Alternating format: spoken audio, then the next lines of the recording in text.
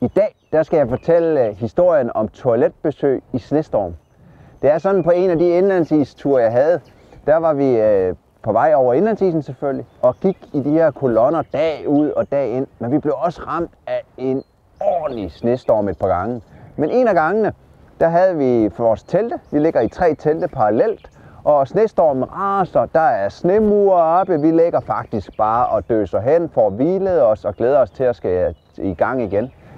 Men vi må også ud en gang imellem desværre, fordi når man skal på toilet, og når man er flere i toilettet, så, så gider de andre jo ikke at sidde og se på det. Så det er ikke andet, man må ud på toilet en gang imellem. Og det er det sådan, at ude, når man har teltene, så et stykke bagved øh, medvinden, der er en snemur, vi har bygget også, til man kan komme på toilet bagved, så er der lidt mindre snefyning, men det er jo stadigvæk røvkoldt, og man får sne i bukserne og alt muligt andet.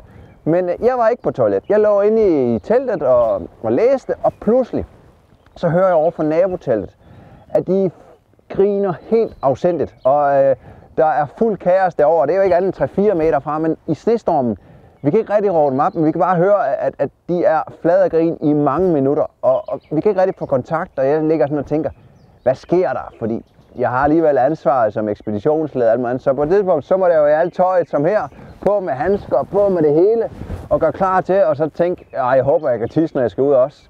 Så mig ud, og snestormen er rigtig, rigtig kraftig. Så når man lige ligger og kigge, og så kan vi lige se teltet. Og ud til toilettet, der er sådan en snor, man også kan se, så man ikke farer vild. Så jeg får fat i et andet telt, kommer over, og da jeg så ligesom vælter ind i deres telt, så er det noget med at lige at lyne op, så falder man ned i den her kuldegrav. Og ude i kuldegraven, så er der åbent ind til inderteltet, og ude i kuldegraven, der sidder to af deltagerne, og de er flade af grin. Tårerne, de løber ned, og så kigger jeg ind i teltet.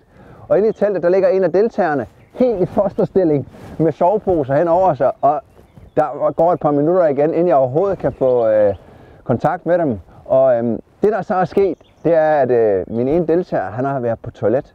Og øh, han siger selv, da han var kommet så nogenlunde, han kom ud på toilet, og han har rigtig forberedt sig. Så inde i handsken her, der ligger toiletpapiret foldet i små lag, klar det hele. Han kommer ud, han trækker bukserne ned, får ordnet det, der skal, og, og på det tidspunkt, så er ballerne allerede helt frosne. Da han så tager tasken, eller handskerne af, så flyver toiletpapiret væk, og han har ikke taget andet toiletpapir med. Så han får fat i noget af det og prøver at tørre, så man må erkende, at han kan ikke bevæge sine fingre mere.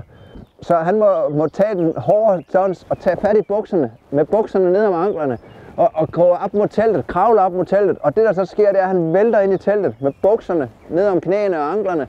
Helt nøgne baller det ind i forteltet. Og det er der, de andre begynder at grine. Så de andre må hjælpe ham med at finde toiletpapir, få ham ordnet, få pillet sne ud af hårene på ballerne og det hele dernede af.